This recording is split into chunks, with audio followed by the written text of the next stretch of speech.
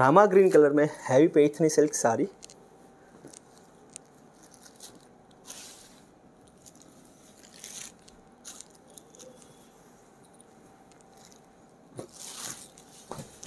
ये है पल्लू।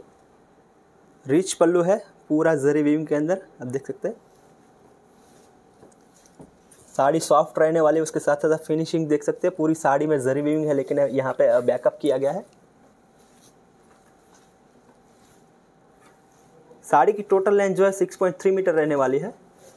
एंड एक मीटर का आपको बॉर्डर के साथ ब्लाउज पीस मिल जाएगा प्लेन में। You will get super and best quality on Heer fashion dot com